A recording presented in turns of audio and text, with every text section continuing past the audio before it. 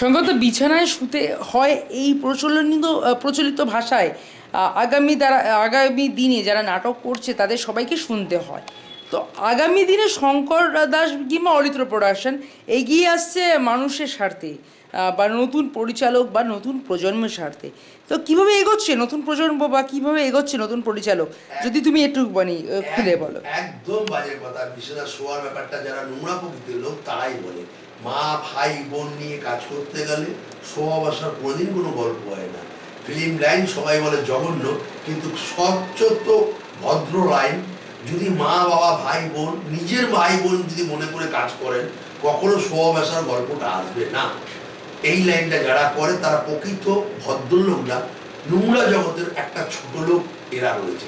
কিন্তু আমার অরিত্র প্রোডাকশনে না শোয়া আছে, না বসা আছে, না খাওয়া আছে। ইভিনকে আপনি যে খাবার কিনে আনেন, সেটাও খাওয়া নেই। আমার প্রোডাকশনে যা খাবার তাই আপনাকে খেতে হবে। তাই আপনাকে কাজ করতে হবে।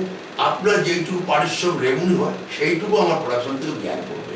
কিন্তু একটাই কন্ডিশন যে এখানে শোয়া বসা ছাড়া বাদ বাকি ভাই, বোন, মা, বাবা, একটা পরিবার অরিত্র প্রোডাকশন অবস্থা। একটা পরিবারকে জঘন্য, নোংরা প্রকৃতির দিকে ভাববেন না। একবার আসুন, দেখুন, বুঝুন।